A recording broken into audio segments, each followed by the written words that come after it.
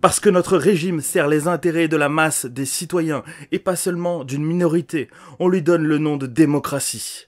Mais si, en ce qui concerne le règlement de nos différents particuliers, nous sommes tous égaux devant la loi, c'est en fonction du rang que chacun occupe dans l'estime publique que nous choisissons les magistrats de la cité, les citoyens étant désignés selon leur mérite plutôt qu'à tour de rôle.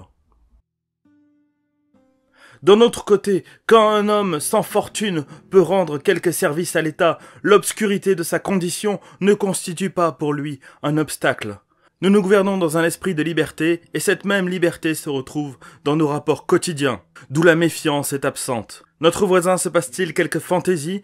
Nous ne lui en tenons pas rigueur, et nous lui épargnons ces marques de réprobation qui, si elles ne causent aucun dommage matériel, sont pourtant fort pénibles à voir. Mais si nous sommes tolérants dans les relations particulières, dans la vie publique, nous évitons très scrupuleusement d'enfreindre les règles établies. Nous obéissons aux magistrats qui se succèdent à la tête de la cité, comme nous obéissons aux lois, à celles surtout qui assurent la protection des victimes de l'injustice, et à ces lois non écrites qui attirent sur ceux qui les transgressent le mépris général. Nous avons ménagé à l'esprit dans ces fatigues d'innombrables occasions de délassement, en instaurant des concours et des fêtes religieuses, qui se succèdent d'un bout à l'autre de l'année, et en aménageant nos habitations avec goût, de sorte que notre vie quotidienne se déroule dans un décor plaisant qui chasse les humeurs sombres. Telle est la puissance de notre cité, que les biens de toute la terre y affluent. Nous en arrivons à consommer les productions des autres peuples, comme si elles étaient autant que celles de l'Attique, notre bien propre.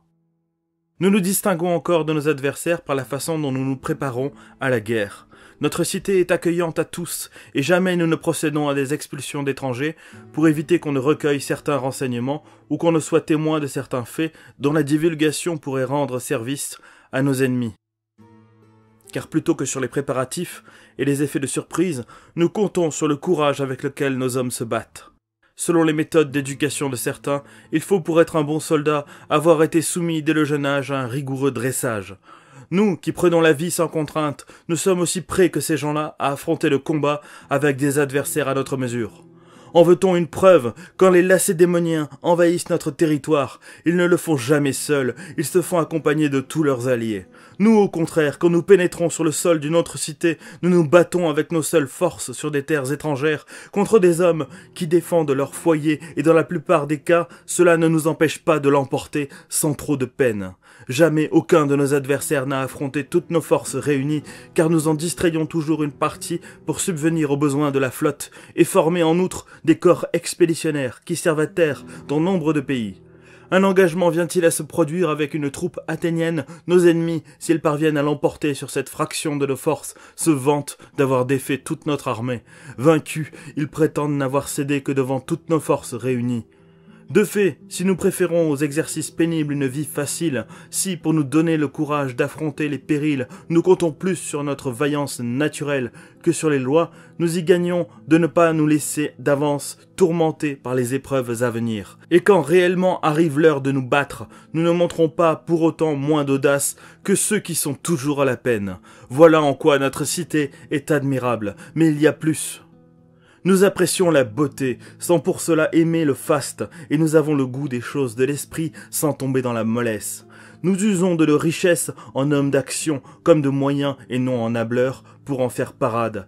Il n'y a point de honte chez nous à avouer qu'on est pauvre, mais il y en a à ne rien faire pour sortir de cet état. Ceux qui participent au gouvernement de la cité peuvent s'occuper aussi de leurs affaires privées, et ceux que leur occupation professionnelle absorbe peuvent se tenir fort bien au courant des affaires publiques.